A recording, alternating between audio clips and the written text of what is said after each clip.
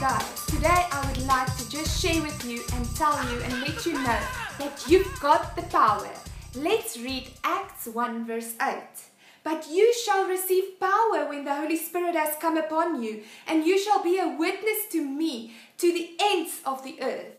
That is you. If you've been filled with the ability of God, the Holy Spirit, you have the power to go and cleanse the lepers, raise the dead, heal the sick. You have go and drive out demons. You have power to go into all the ends of the earth and to go baptize the children in the name of the Father, the Son, and the Holy Spirit. Yes, you. You've got the power to do a great commission for God's kingdom. And I want you to know that He has given you all the strength and power through Christ Jesus to just be a testimony, to be a witness unto the kingdom of God because we are not from this kingdom. We are from a different kingdom and we need to realize that we need to go and do. We don't need to just hear, we need to become doers of the word. So just know, child of God, that you are special. You have the power, you have the ability, and you have the responsibility. 2015 means responsibility. So I want to dare you today